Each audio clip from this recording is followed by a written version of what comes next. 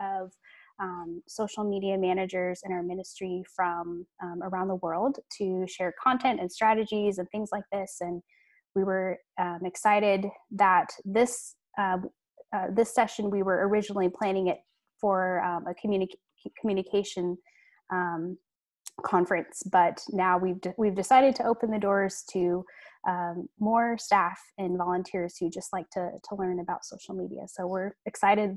In a weird way, we got to um, open this up to more people.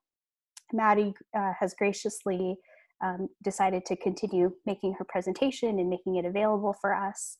Um, just to introduce her, Maddie um, is on the Power to Change students um, social media team in Canada. She's a cat lover, um, a content creator, and um, I, I, asked her to do this because I, I felt that their team does a really wonderful job of creating resonant content um, for today's generation that also um, shares and conveys um, God's heart well. So they're a great example for us. we're excited to learn today. If you have questions as we go along, please um, paste them in the chat and we will come to them all at the end. So um, I will be gathering them and, um, and we'll give them to Maddie at the end. So um, with that off, I'm going to pass the baton to Maddie to start us out. So. Sounds good. Thanks for that, Erin. Appreciate it. And yeah, this is a a unique opportunity that we have to be able to meet like this with people from all over the world. It's nine o'clock in the morning here where I am in Ottawa, Canada. Don't know what time it is for you, but we're glad that you could make it here today. Uh, I know that we are recording this presentation, and I can also share the slide deck that I have here with you afterwards. So if you're trying to take notes and you don't quite catch something, that's okay. There'll be a way that you can access this afterwards as well.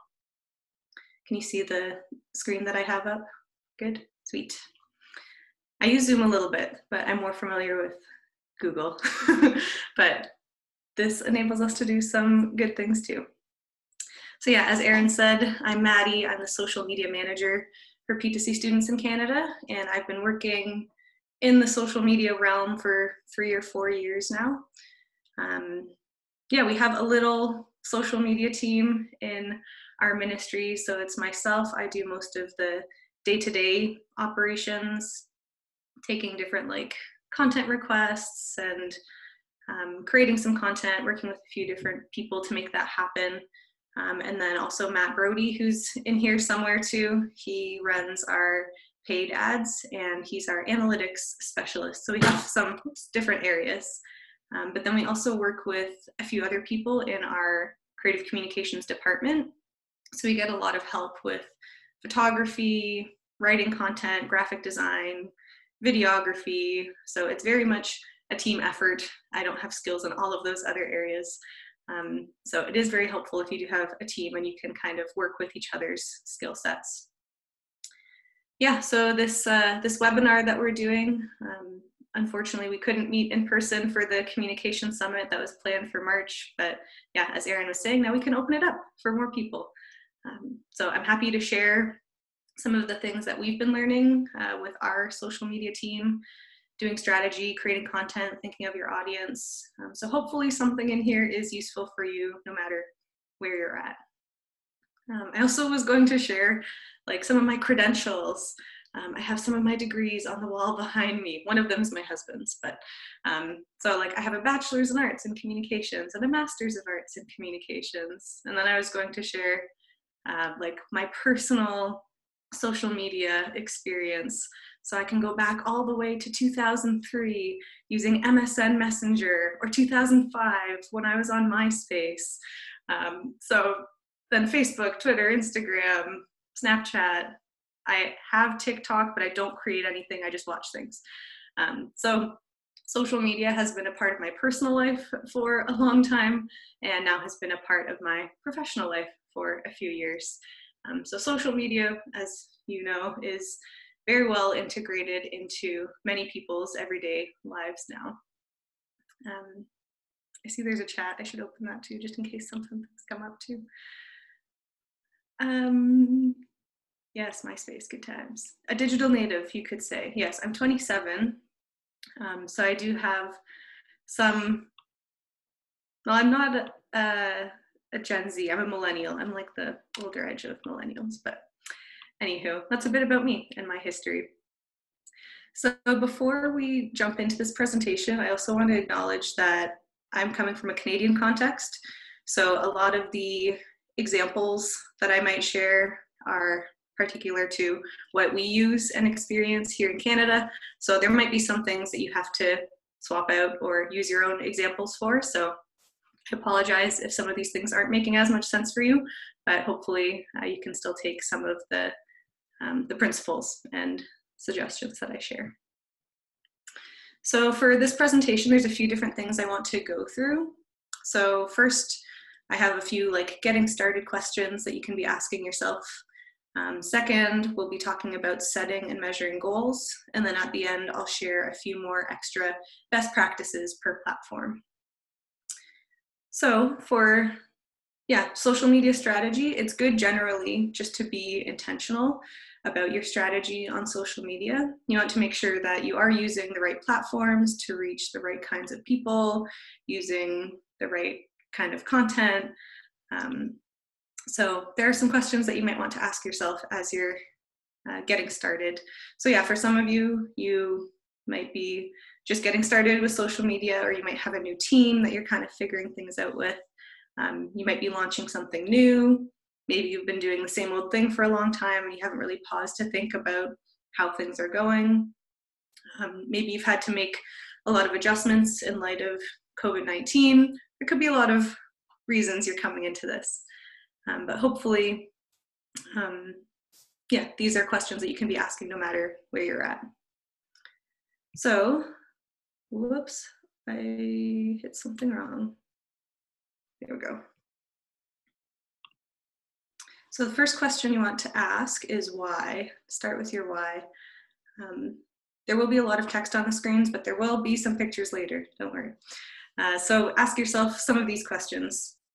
So, why does your ministry as a whole exist? What are you trying to accomplish? And why might you need social media for your specific ministry? So, your answer to these questions might be pretty big and broad, or they might be more specific and focused. Um, so, for an example, I can show you what ours is for P2C students. So, if we look at our why, our big picture, our mission statement for our ministry, um, which has changed a little bit in the last year or so. But we form diverse communities that help students discover the relevance of Jesus for all of life. So, some of the core elements of our mission statement are community, discipleship, evangelism, sharing Jesus, uh, preparing young people for a lifetime of ministry. Then within our ministry, we have a creative communications department, which is the area that I work in. And we also have a purpose statement for our department specifically. So that statement is we help students know Jesus and live for him by shaping culture, producing innovative resources, and designing experiences where life change happens. Kind of a mouthful. Um, but then we can go even zoomed in even more. So for our social media team, we decided we should have a bit of a purpose statement as well. So through social media, we are digitally inviting people into experiences where life change happens so they can discover Jesus and live for him. So we have the big picture mission statement, our creative communications purpose statement, and then an even more specific purpose statement for social media. So we do see that we are able to do things digitally to connect with our audiences to be inviting them to read a blog post, come to this event, um, check out this resource we have, go on a mission trip. We're inviting people into these different experiences where we hope they will have um, a changed life or an impact from that. So, for you, some potential whys you might have for your social media, you could be using it to connect with your target audience, to communicate information to people who are involved, uh, maybe you're doing direct evangelism online. You might just want to using it as a way to point people to your website or to get them to subscribe to your emails, things like that. Um, maybe you're just wanting to share lots of updates or invite people to events or to engage with alumni. There could be a whole range of whys.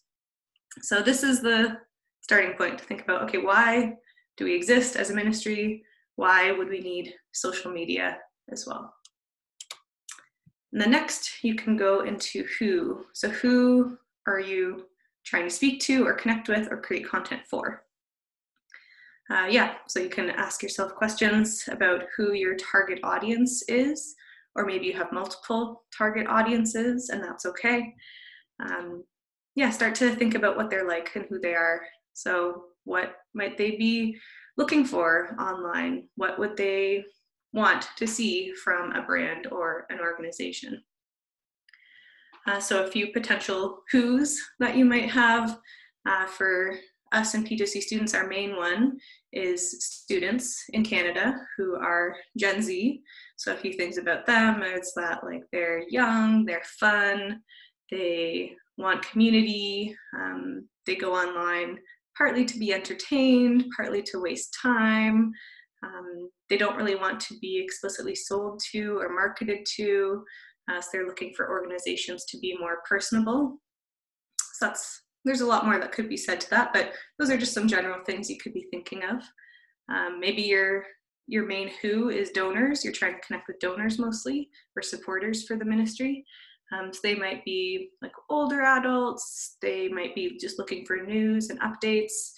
Um, they want to be inspired. They could go online to make connections with others or to get updates.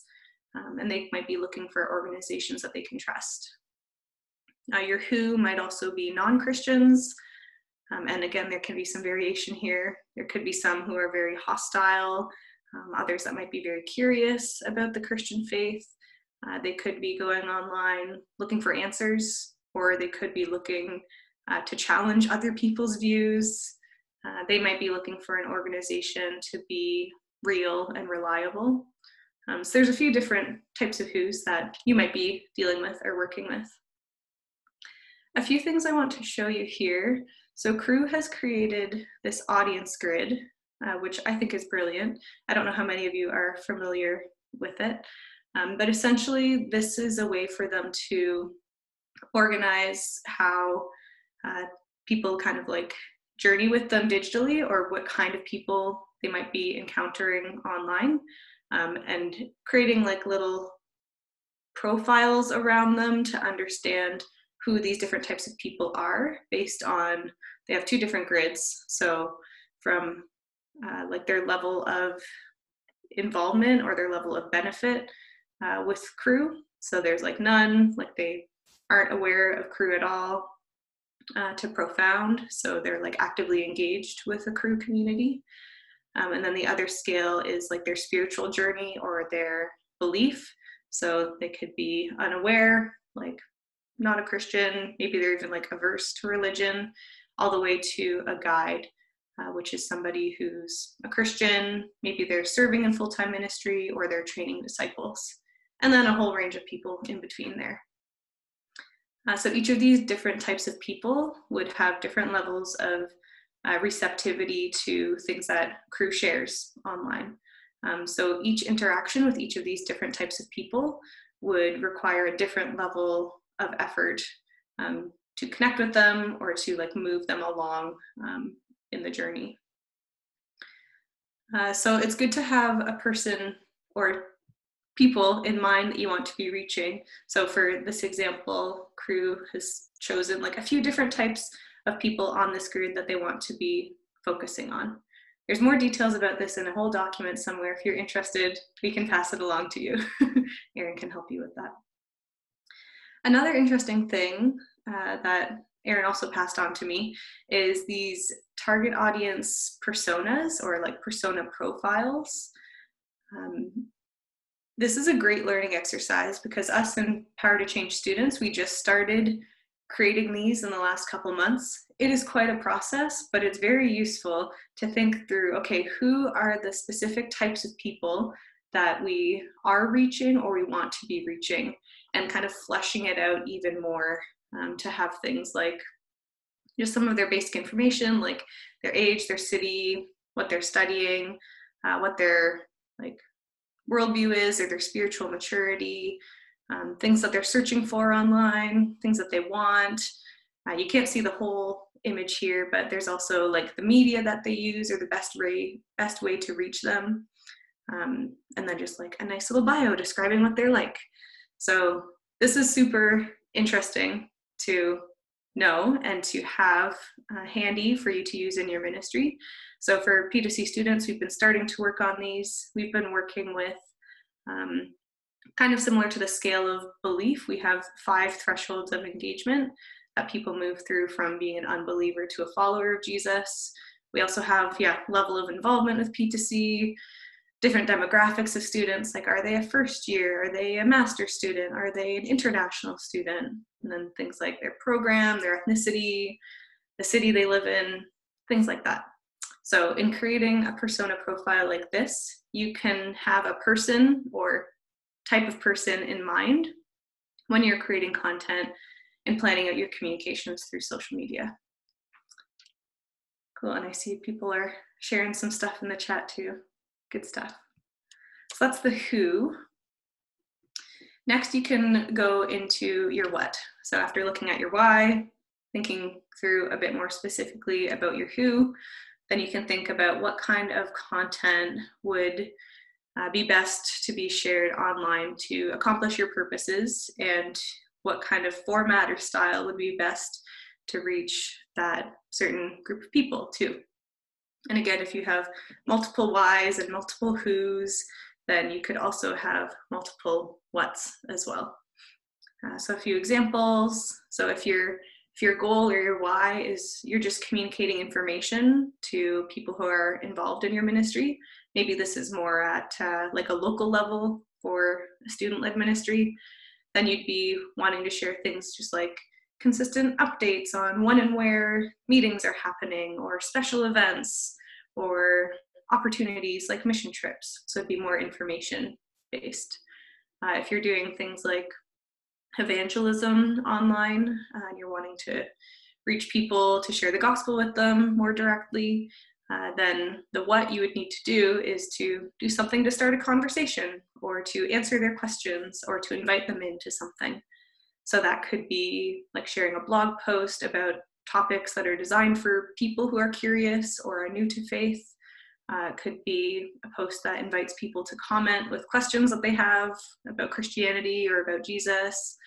Uh, or you could create a paid ad and have like an intriguing question that ties to a felt need that you think your audience might have.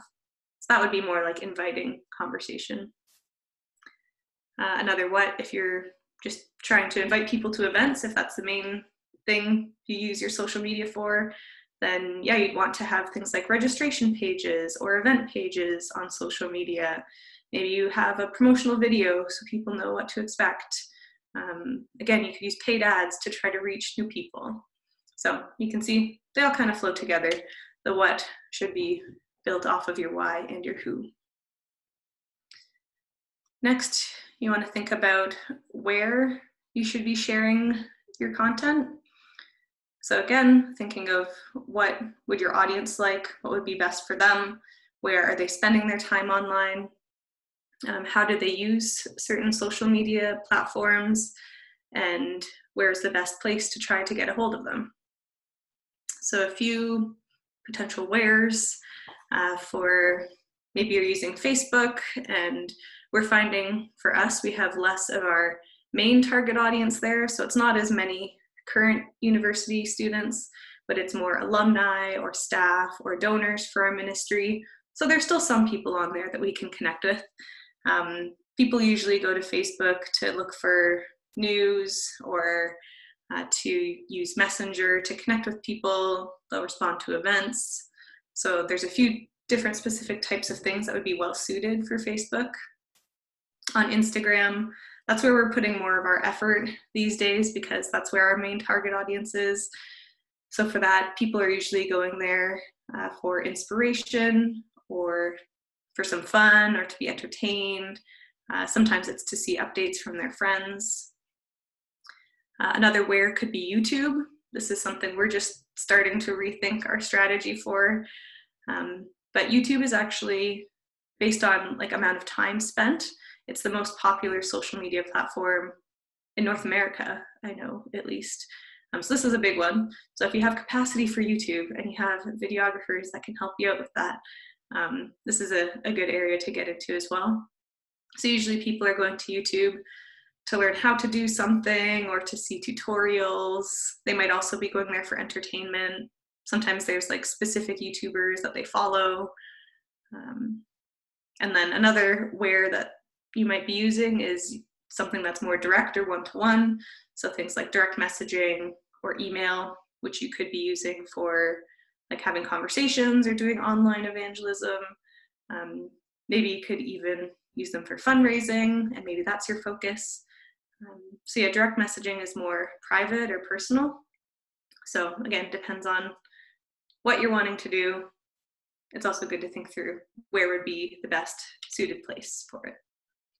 I have a couple other things to share about where. Oh no, I have a couple things about when. Never mind. The next one is when. so again, a few questions you can ask here. Um, and yes, you're welcome to share questions, but we'll get to them at the end. So for when, again, this is a, a good thing that you should just be thinking through a little bit on what your audience might be, what might be best for your audience, uh, what time of day or week you should be posting to your social media platforms, and when would a typical person in your target audience be online. Um, so it could be like first thing in the morning or over lunch break or in the evenings, or maybe you get more engagement on the weekends compared to weekdays. Uh, there's a way that you can learn some of these ones. So you can look to some of your analytics. This is an example of what it looks like on Facebook. If you go into insights uh, under posts, you can see these different charts on when people are online and engaging with your content.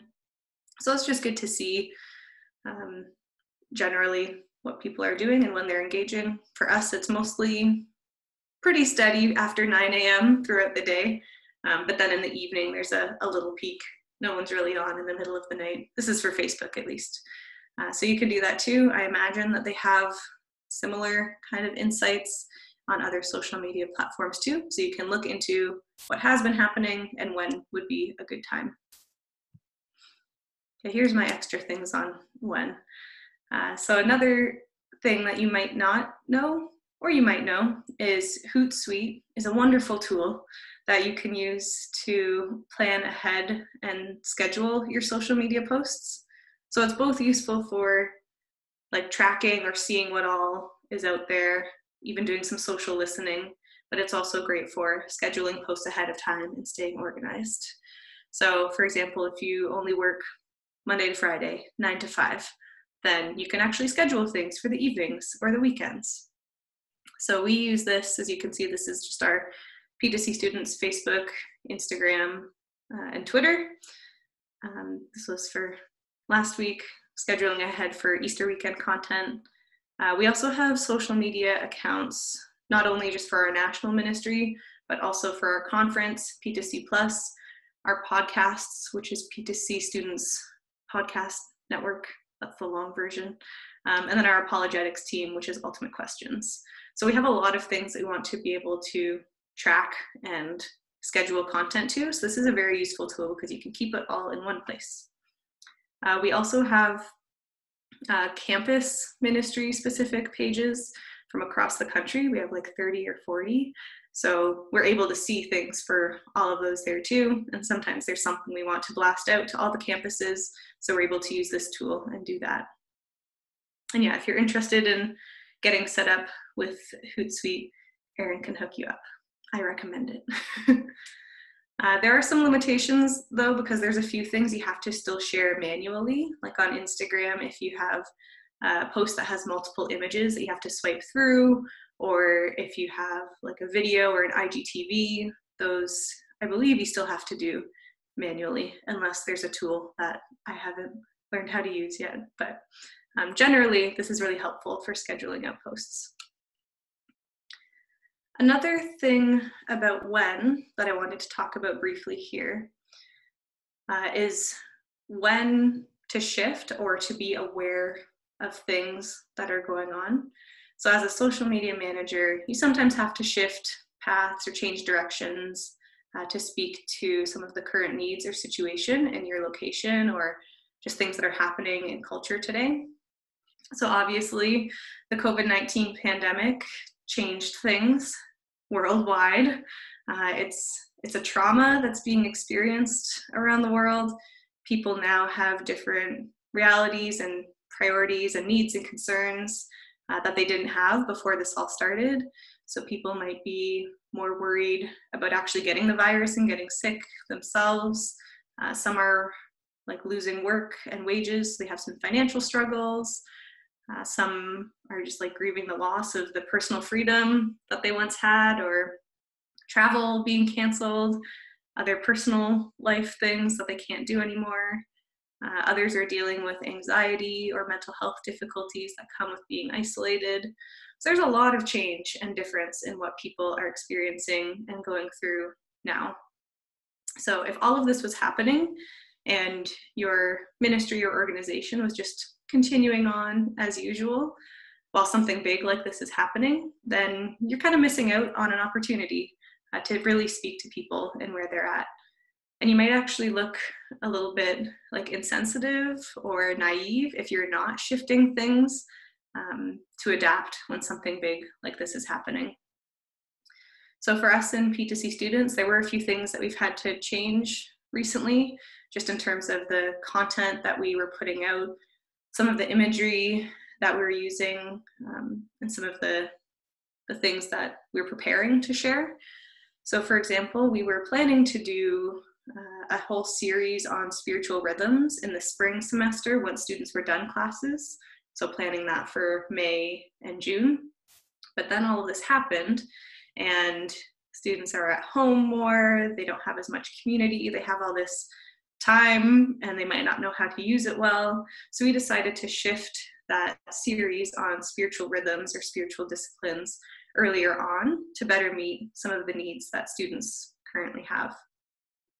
Um, another thing, so this second image here of our Instagram post, we had this post planned before COVID 19 happened, and we had to move all of our ministry online because schools were closed and we had to just change everything. So we already had this post planned saying some nice things about community and we still wanted to share it, but instead of just sharing it as is, we added in this paragraph about how community is an important piece and how God has designed us as human beings. We'll miss face to face community in this season, but we're ready to find creative ways, finding new ways to connect.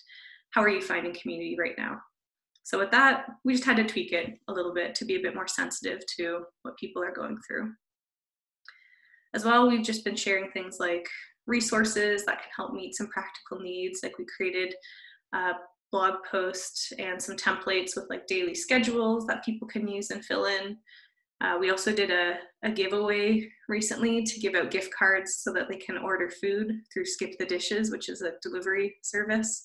So for that, we just wanted to encourage them and to be generous, do something that brightened a few students' days when they won. And we've done a few fun things too. So in our Instagram stories, we've just been engaging in some fun things. Um, we did one where they like got to fill in their day using gifts, like what does your day look like? Uh, we had a, a, bingo card about their involvement with P2C. So these are some of the things that I was just noticing were going around personally at the time, and we were able to make versions that fit in with our ministry. Um, yeah, so there's been a lot that has changed in the last month or so, and that impacts what you do on social media. Um, so it's good for you guys to be keeping your ear to the ground to know what the conversation is online and to be imagining what your audience might be experiencing at the time. So it's good for social media teams to be adaptable and to be able to get creative in serving your audience and the needs that they have. So that was just a little extra thing on, on when. And there's been a lot of really neat things coming out of um, this whole situation. So you might also have some examples of things that you've seen ministries doing well at this time. So that's the first section, and that's the longest section that I had to go through. Um, so next we're gonna get into talking about setting and measuring goals. Some of these terms you might be familiar with, others might be completely new to you. So we're gonna be looking at WIGs, lead and lag measures, and social media unicorns, which is a fun concept. So starting with WIGs. Uh, so a WIG is a wildly important goal. Um, when you're making goals, it means that you have something that you're working towards. Um, and it's also good because then you can have something that you can share about the impact that you're having if you have something that you're aiming for. Uh, there's probably some ministry leaders in your ministry that are quite interested to know what's happening online and what kind of traction and traffic you're getting through your online efforts. So with your wildly important goal, uh, you just want to be thinking about what do you really care about or want to see happen through your social media strategy. Uh, for us and P2C students in the last year or two, we've been trying to figure out what deeper digital engagement looks like. So we're trying to figure out how we can even measure that or encourage that to happen. So that's been our, our kind of phrase for the last few years of what we're aiming for is to have deeper digital engagement. Um, but how can you measure that? There could be a few different ways. And so last year, our WIG was to increase our overall impressions on social media uh, on all of our posts by 30%. I think we didn't quite reach it, but we did some good things throughout the year to work towards it. So a few WIGs that um, you could choose or might be options for you. You could be focusing on increasing your followers on social media, especially if you're just getting started. Uh, you could want to increase your direct messages uh, through chat. You might want to increase your search traffic on your website if you want to be connecting your social media to website as well, or even things like decreasing your bounce rate. So there could be a whole range of things um, that you could be focusing on and working towards. But so for yeah us with p2c students since that was our overall goal to increase impressions um, that's really getting at we want to be sharing content that is engaging and adds value to the people who do follow us on social media. So you take some time to think through okay what's my wig? What's the one big thing that we care about or want to be working towards this year? And then you can think through some lead and lag measures to help you work towards that goal. I guess the lead measure helps you do that a bit more. Josh Wong, my supervisor, is much more equipped to talk about these things. So if I don't explain something quite properly, Josh might be able to help us later. uh, so for these, um, they help you to see like what can we be doing along the way to reach that wig. So lead measures are things that you can do or you can control or you can impact. So, for example, like posting a certain number of times per week to a certain social media platform, or spending a certain amount of money on paid ads, or sharing a certain number of videos, or doing a certain number of contests, things that you can plan out and actually do. Lag measures, on the other hand, track your success. So there are things that you measure afterwards, and there are things that you hope to see happen.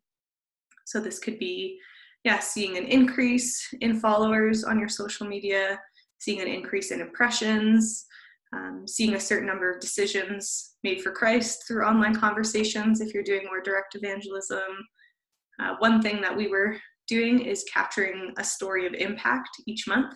So that's more of like a qualitative yeah, qualitative measure um, instead of having like a specific number of somethings, just having a story that we can capture to share that somebody was impacted by a blog post or a video that we shared. Um, and I don't have a ton of time to go into great detail on these things and how you can measure them and um, how you can track them and report on them. So you might have to look into another webinar. There was one somewhat recently on metrics. Um, so I know that there are others out there if you want to go a bit deeper into that. Um, and my colleague Matt is great at tracking all these things. He's the one that sets up all our reports and does data studio and works with Google Analytics and knows a bit about SEO. So that's his area too. So if you have questions, he might be able to answer them or point you to a resource. Um, and then after you come up with these things, your WIG and your lead and your lag measures, and you have a way to track them or to store them somewhere, it's good to review it every once in a while. So for a while, we were doing a weekly social media team meeting, um, and we would have like a monthly strategic meeting. So that's just a good time to connect with your team to see how it's going, to learn from some of the things you've been doing, and to see if you have to shift or make any changes to continue working towards your WIG. The next thing is our social media unicorns. Erin introduced me to this concept a few years ago. Um, I think it first came from a social media training by Larry Kim, but I think other people use this concept now too in social media marketing. So, a social media unicorn is an especially high performing post on social media. Um, so, these are posts that stand out from your average. They'll probably only be about like 10% of your overall posts that you put out there. So, they're pretty rare. They don't come up too, too often, um, but they are posts that you can pay attention to and you can learn from. Uh, for us, we started tracking our unicorns a year or two ago.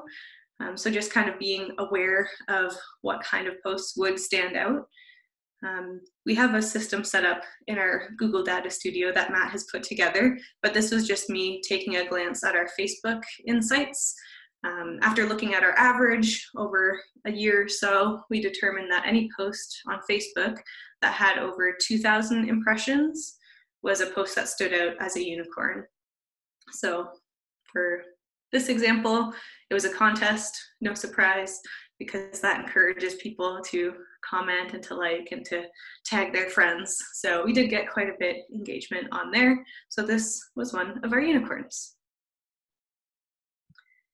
And then once you discover what your unicorns are, there's two things that you can do with them. First thing you can do is send them to the moon.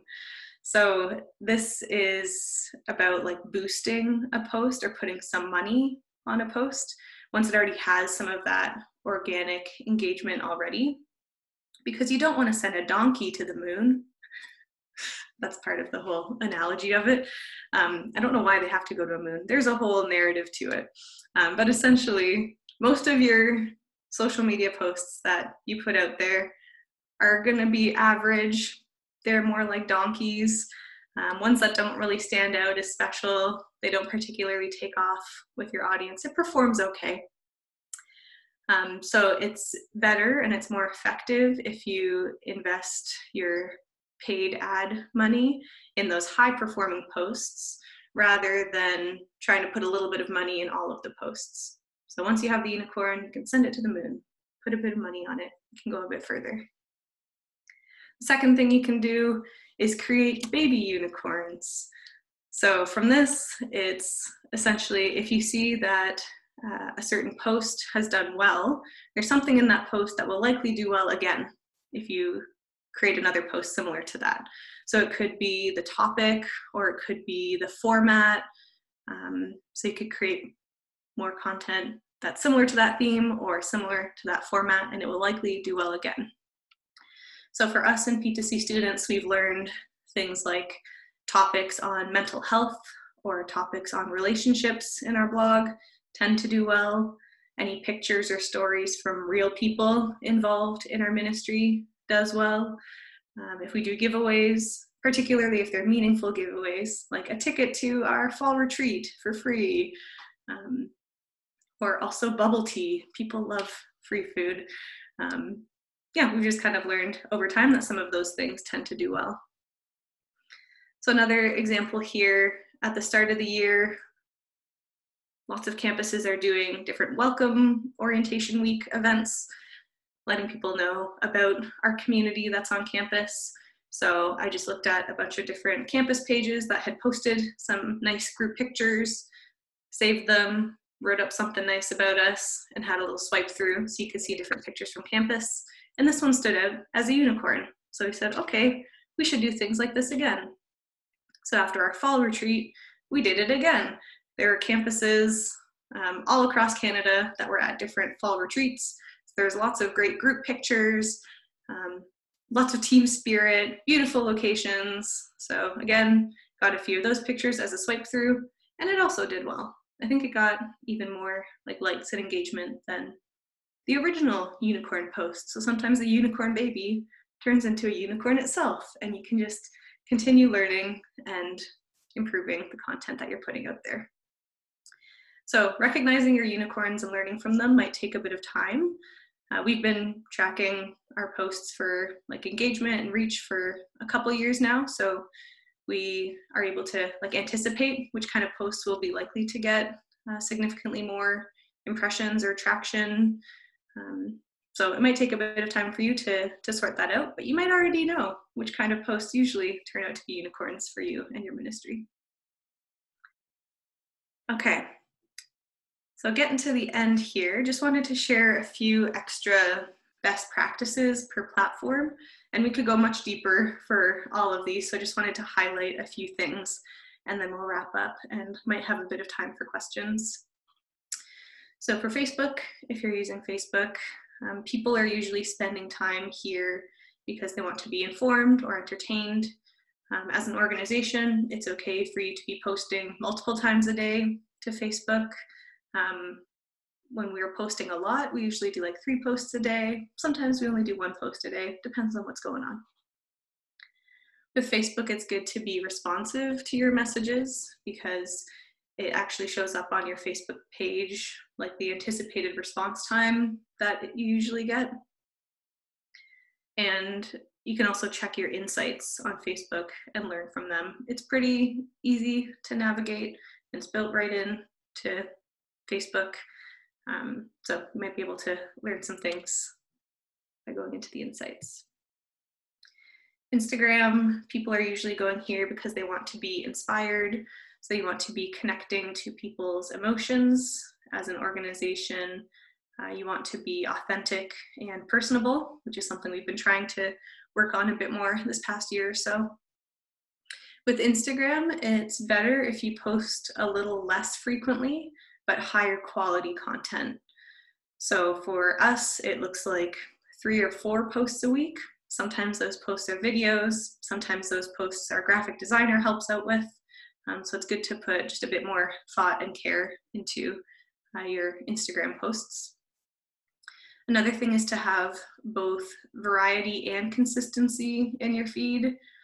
Um, so to be thinking about like how the feed overall looks like, which this also has only been a thing we've been thinking about more in the last year or so. Um, so we try to have a bit of variety in the different kinds of posts that we have. So for us, we've been having like one post that's a story one post that's a microblog, one that's more art or photography, and then one that's like explicitly promotional or marketing so that it's not all promotional and marketing. We have some other things along the way that are adding value. Um, and we've had some more thought put into the like look and feel of our feed. It's like how many pictures of faces, how many pictures do you want to have text on them? um, putting the same filter on all of the photos so it kind of has the same look when somebody comes to our feed. Uh, another thing is to be engaging with your audience using Instagram stories. We found this is a good way to actually get people to respond to us. Um, yeah, in stories, it's more private than people commenting on your actual post. So people might be more comfortable engaging with you here. Um, so you can do things like polls or you can ask a question or you can put gifts in there. So it's just like a more fun, personable way that you can be engaging with your audience. And then another last thing with Instagram is to get into video and IGTV if you haven't yet. Um, just because video is huge and people like watching video and the platforms favor video sometimes too. So we've even had videos that we've just made on like somebody's iphone it doesn't always have to be super high quality produced if you have capacity for that that's great Um, but there are some things that you can do fairly simply, and it's okay to share on Instagram. Next one for Twitter. We use Twitter. We don't put as much thought and effort into it these days because Instagram is the one where we're putting a bit more intentionality into, but we still have Twitter. Um, when people go on Twitter, they're usually looking for what's happening or what's new. It's okay as an organization to tweet and retweet often, multiple times a day. That's okay. Um, it's good to be searching for trending hashtags, and if you're able to jump into the conversation, that's a good thing to do. Uh, it could be like a special day or a special holiday, or there's some campaign going on, or there's some event going on. Um, if there's a way that you can insert yourself into there, you might be able to get discovered by some new people.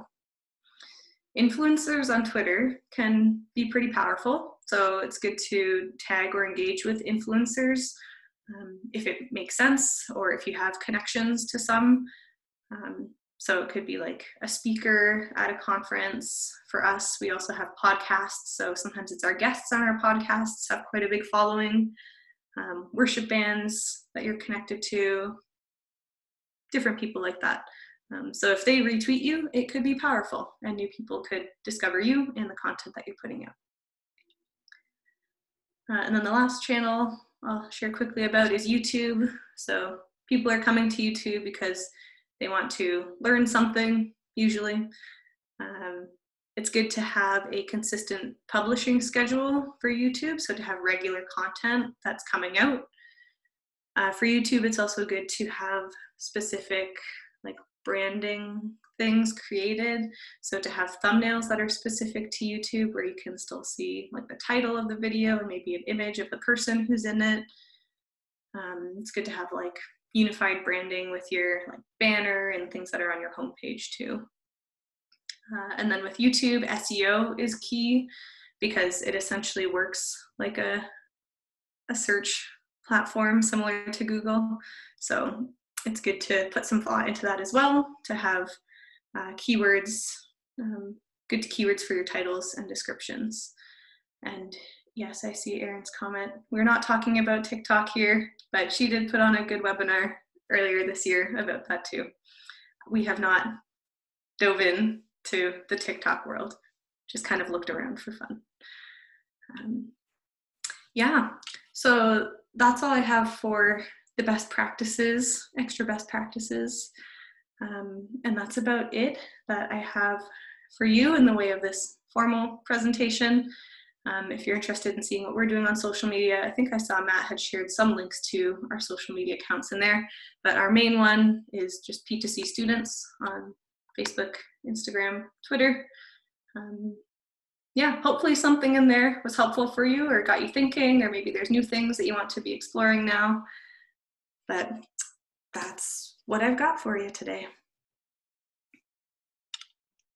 That was awesome and a, a great, yeah, kind of compre- comprehensive overview of what it looks like to get started.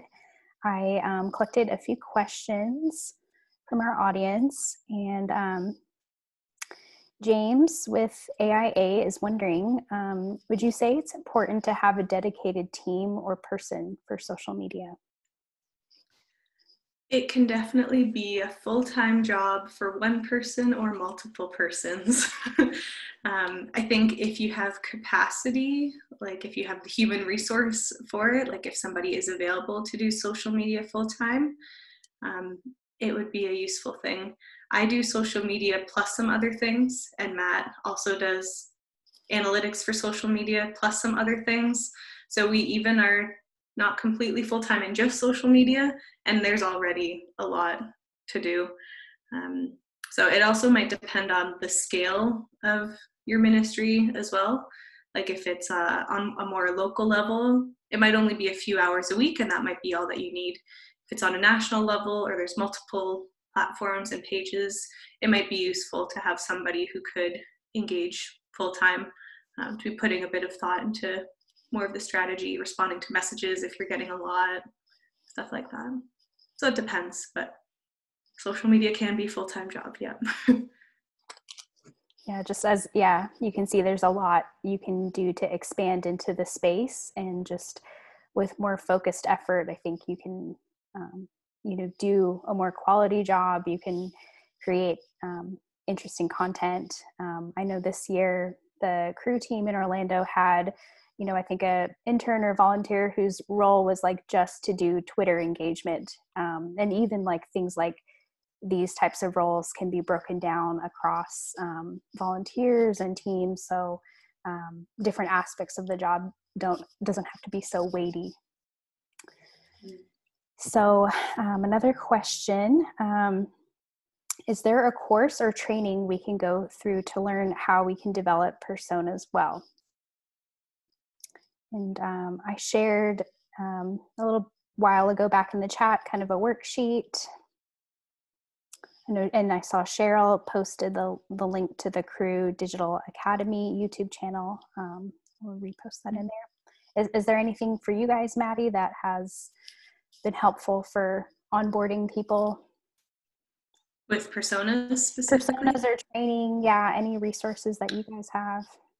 Personas. We've basically been using the things you've shared with us erin and just kind of making it up as we go. I think we all um, keep copying and recycling things from around. Yeah. So yeah. there's a few other documents that we've had to reference with like good questions to ask and a few like formatting options. So i could find that and share that too but we didn't have like a formal training that we went to. We just kind of formed a little team had a lot of meetings together to talk it through um, talk to different campus staff who are more closely connected to the audiences that we're trying to reach, did a bit of research on just like some stats about students and Gen Z and technology use, faith and religion in Canada, stuff like that. Um, so there's a bit of research you can do along the way for forming those two. In the way of training, um, sometimes Hootsuite puts out some like good blogs, sometimes videos we over the last few years we've been using social media examiner. Um, there's like a society subscription you can get and they have a whole bunch of online webinars that they do throughout the year. Um, this year we got a virtual ticket to their conference. So we have a whole bunch of webinars that we can watch whenever we feel like it. So that's one that we've used and we've enjoyed. There's a cost to it but um, if you have budget, that's one that's pretty solid. Uh, they're in the States, so it might be a more American context. That might be something to keep in mind too. Good stuff. Yeah. Yeah. Chances are there, um, I know it differs by context, but um, there are probably marketing, content, news, um, newsletters, email kind of things you can subscribe to to get info on what's trending um, for the us they're my favorite one it's called the the internet brunch and they send kind of a daily digest of what's happened in pop culture and what gen z is thinking about. Um, it's but it's yeah it's a more us kind of specific context. Um, yeah maybe yeah there those things exist in your country as well. I wanted to add um, this question what types of content do you see performing well in this day and age? Like what's what's hot right now? Generally or that we found for us? Maybe both yeah. Um yeah we're finding things that are either very like representative of our ministry so like people who are actually involved. People get excited to see themselves or their friends or their staff. So we usually get a lot of engagement um, and excitement on those ones. Videos tend to do quite well for us too. They're just a bit more engaging. Um, and I think that's true across the board. Uh, like that, just video is more engaging, but there's different like style tips for video these days too. Like it has to be like shorter and snappier. You have to catch people's attention in like the first three seconds, or they might not watch the whole thing. Um, so I would love to dive deeper into video. We only have one full-time video person in our department right now, so we don't have too much capacity to explore it. But yeah, I think video is probably like the biggest in terms of like type of content. Um, Yeah, and things that are just more personable so that you don't just appear as a general organization, but that there's actually people behind it. So any things that show like behind the scenes or like letting people do takeovers. We sometimes let our staff or our students do a takeover of our Instagram account. And those are always fun to see. And they're things that I couldn't capture on my own because I'm not on a certain campus somewhere else. I'm not at whatever conference they're having in that city. So that's another good thing to do is to just get more personal in your brand. I totally agree with all of that. Um, I've also seen like Instagram templates, those things you can like screenshot and reshare with your own gifts. Like people really love yeah. that. Polls. Um, oh, podcasts. Um, in the Philippines, our ministry, um, their their podcast has now overtaken every other. Their Spotify podcast has taken over. It's bigger than their Facebook, their Instagram. They have more hmm. listeners, more people engaging with that than anything else that they're doing. But um, it just seems this trend for like personable relational um, instead of us just like spraying our message to the audience and wanting people to engage shallowly i think pe- people are wanting to um, yeah for for it to be more engaging to have a dialogue um, i know um, elsewhere in our ministry in eastern europe is currently doing some um, campaigns that involve um, a messaging strategy using um, ads on, on Facebook that start a chat bot in Messenger. This is a little bit out of the beginner space, but there's some really interesting things we can do um, to there. So, um, and one last question for you, Maddie. Do you have any advice? I kind of gathered this from um, another thing that um, James wrote. Um, for those who are trying to reach some of these more hard to reach audiences, um, if we're looking at the grid, the far low and left, unaware people are unaware of our ministry and may have no spiritual background or interest. Um, what advice do you have for um, for engaging them well? Mm. That's a good question. We haven't done too too much, um, I guess, intentionally to be reaching those kind of like on the lower end. Um, but I guess I'd say to like come at it in like a very kind way and more of like an invitational rather than trying to tell them things that we know as Christians. Um, and i think to anticipate also the responses that you might get. So to like be prepared on how to respond in a kind and gracious way too if they don't agree with the things that you're sharing or trying to uh, reach them with. Yeah i don't have as much experience with that but i just say yeah have kind of like the posture or tone of being gracious and kind. I think yeah just um I know the types of topics that you guys delve into regarding mental health. Like you've um, really considered just what are the struggles that um, this persona is going through.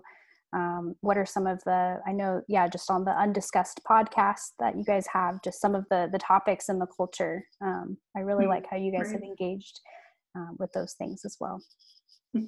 so well, guys, um, we're um, at the end of our time. Thank you so much for listening. Um, if you have um, further questions, I think uh, most of you who were able to access the invite have my email. Um, we have recorded this, so if there are others who may benefit from this time, we'll we'll send this out at at the at, after the video is done, and you can pass it along. So um, thanks for engaging. Thank you so much, Maddie, for preparing this content and sharing um, your experience. So, you're very welcome. All right. Well, I'm going to end this meeting. Okay. okay. Take care, everyone. Thanks. If you have questions, you can email me if I didn't get to something. Thanks. Awesome. All right. Take care, everyone. Bye.